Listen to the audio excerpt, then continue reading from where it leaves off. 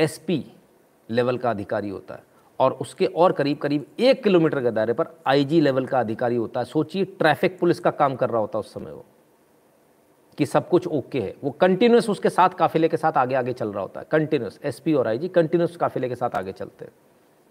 Clear है? पंद्रह बीस मीटर दूर प्रदर्शनकारी, और मोदी जी को यहाँ रोका जा रहा है। किसी ने नहीं बताया। पाँच किलोमीटर पहले पता क्यों नहीं चला? ये फ्लाईओवर पर आकर ही क्यों रोका गया? ये तो नीचे भी रोका जा सकता था। क्या आपको लगता है कि एसपीजी इतनी बेवकूफ़ है? क्या एजेंसी इतनी बेवकूफ़ है? हुँ? हम्म? और जो लोग कह रहे हैं ना, एकदम से आ गए। नहीं, गलत बात।